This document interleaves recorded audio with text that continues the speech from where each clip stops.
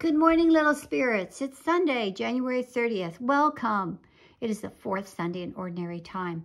I hope you've had a fun week, and I look forward to talking to you about our story in the Gospel today. Well, before we get started, let's look at this picture. We see, of course, this is Jesus. And what do you think Jesus is doing? Oh, very good. Looks like he's moving very quickly. Do you see the wind in his, his uh, coat? And his hair is flying back. Looks like he's moving very quickly. Well, let's find out what that's all about. In the name of the Father, and of the Son, and of the Holy Spirit, amen. Hail Mary, full of grace, the Lord is with thee. Blessed art thou amongst women, and blessed is the fruit of thy womb, Jesus. Holy Mary, Mother of God, pray for us sinners, now and at the hour of our death. Amen. Boys and girls, Let's find out what Jesus is doing. Let's get started. So as I mentioned, it's the fourth Sunday of the year. God's good news. And our gospel today is from the book of Luke.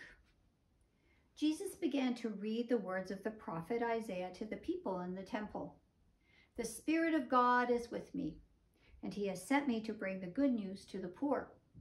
I have come to bring freedom and to show people a new way. And after Jesus had finished reading from the scriptures, he looked up at the crowd who were listening and said, Everything you have heard is coming true today.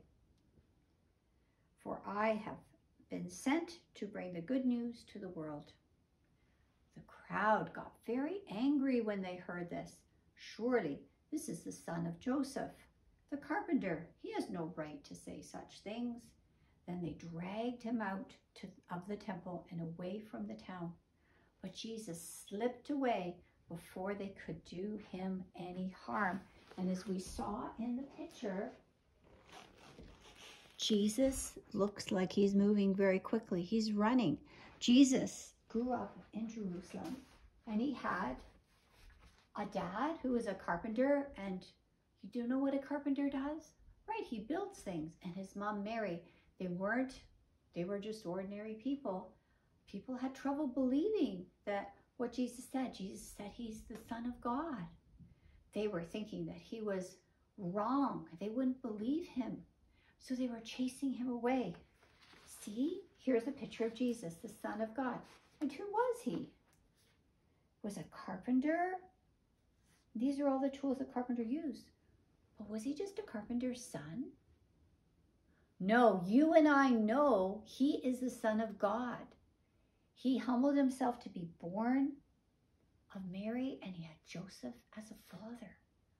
But he just wasn't the son of a carpenter. He is God, was God, it will always be God. And so we have a job to do, right? We have a job to do to remember that Jesus is God and he came on earth. He loved us so much. He came on earth as a little baby. We just celebrated his birthday at Christmas.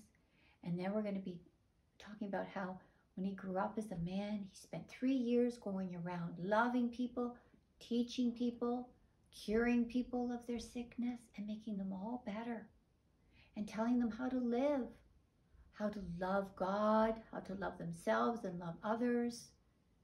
Yes, and then he made the big sacrifice and died on the cross for you and me. So open up the gates of heaven. So, so amazing.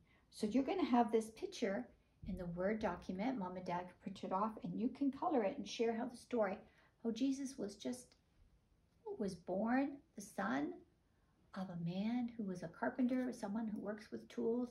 Mary was his mom. But who he really was, he was both like a person like you and me, but also God. Have a wonderful week, and I look forward to seeing you next time. Bye for now.